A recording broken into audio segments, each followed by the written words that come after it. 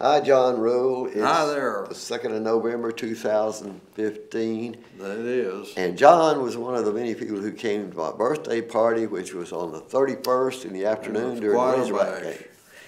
And there's Don Jones, and that's Sim.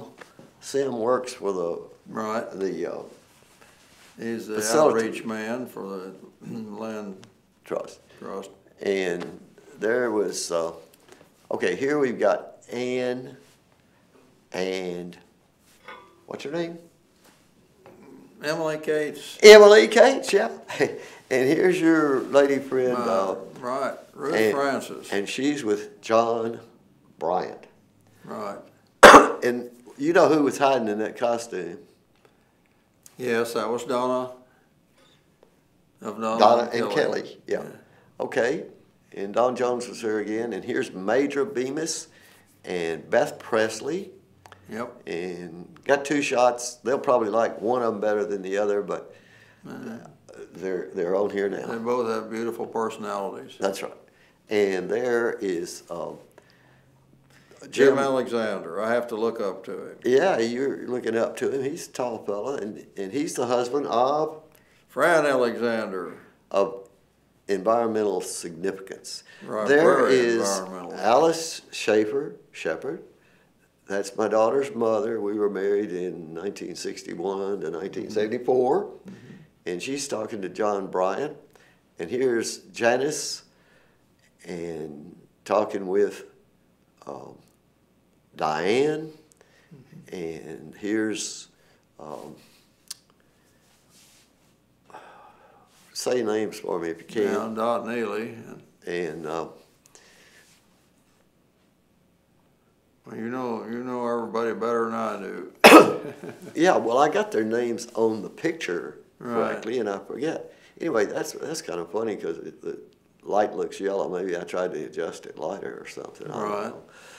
know. but they're a great couple and great friends, and She plays a good fiddle. yeah, and she did a lot of work helping Lauren get ready for that birthday party. Right, I bet. and there's Jim Bemis and Major again, and here's Ruth. John, and my daughter Deirdre, Mm-hmm. Suzanne Shepherd, and well, see, I got I three didn't different. realize she looked so glamorous. Well, she's all these ladies are glamorous. I've been by her house several times, but with you, but yeah, uh, but that's it's Fred, or Joe. Joe Neal. Joe Neal, and uh, he was talking to Dee. I don't know, probably about birds and stuff. And he was very, he's very wise about birds. We know, Mhm. and she was very happy to, you know, get to talk to him. Mhm. And uh, she was also very thrilled to get to talk with Emily Cates more. She has never spent enough time with either one of those Right. people, Right, and I see both those people pretty regularly year Right. round. yeah. And uh, there's uh, Alice Schaefer Shepherd and Deirdre Suzanne Shepherd. And Dee was practicing on her guitar a little bit. Okay, left to right, Denny Masulo, yeah, and hmm. don't know who that is. you know that guy with that clown suit on? No. It's uh, Bernetta's husband. Oh, There Steve. Holst. Yeah, yeah. Yeah. He was costumed up pretty well. And Bernetta, of course, is on the right there, and they're all laughing because he, he he's a great entertainer. You know? Yes, he is. and there's Dot Neely, maybe a second time in this Right. group, The second time. and she was there, but I've also seen her three different places, four different places last week or two. She's everywhere.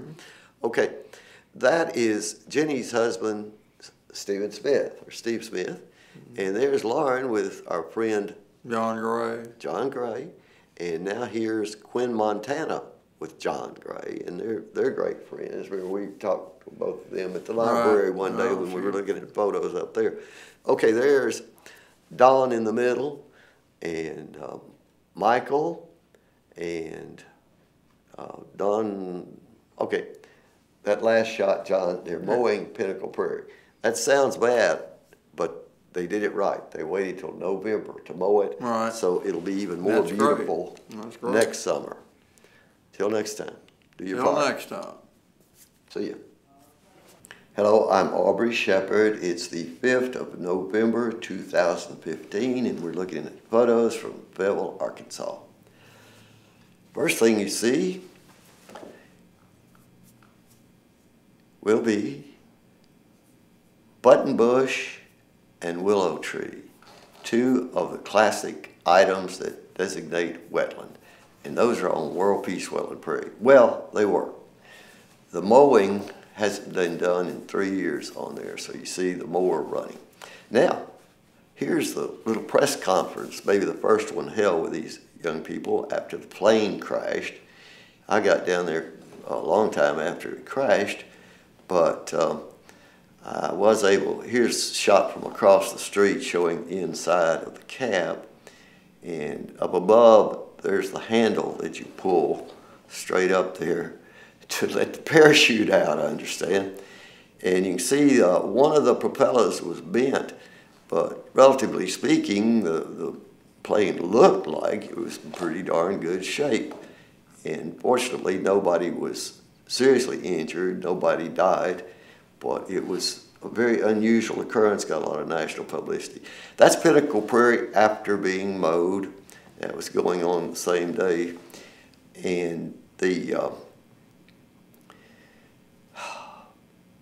Well, it just looks really sad after all the pictures I've shown of Pinnacle Prairie when it's in bloom.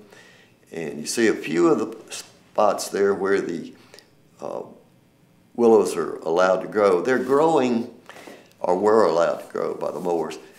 Uh, they're growing in places that have water, always have water underground. And you saw what may be a dodder plant a minute ago, and here's a caterpillar. This world, and there's an insect with those two flowers that are two different species, see, touching. That, uh, that space is so precious because it's got such diversity of species. You can see how tiny those really are in comparison to the hand there.